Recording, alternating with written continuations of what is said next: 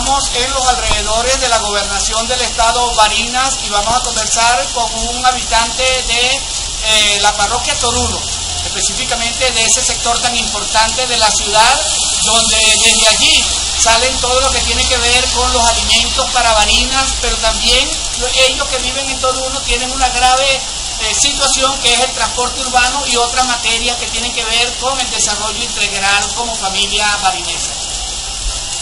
Bueno, hermanito, le hacemos llamado al gobernador del estado de Barinas para que nos haga ese gran favor. Hay gente que ha sufrido el impacto en el corazón, ya sean habido muertos, tirando hacia la ciudad, hacia la ciudad de Toruno, caminando y no tenemos burro y tampoco mujeres, nosotros no sabemos. ¿Desde cuándo tiene esa situación? Ya hace mucho tiempo que no, ya hay otra cuestión que no es y llega tampoco. El problema de las placas, dio. Ajá, de las placas y río Santo cuando crece se desborda, hermano, se anida la parroquia. Ah, ok.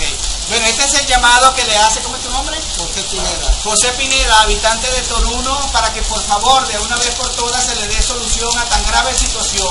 El problema del transporte, como él lo dijo, hay personas que tienen que caminar 3 y 4 horas a pleno sol para venirse para Barina.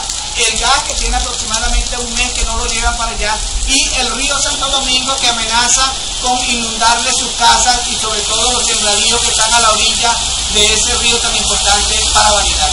Para el noticiero TV Calle les reportó el licenciado Edesio García Sosa. En las cámaras, el licenciado Pedro Lara.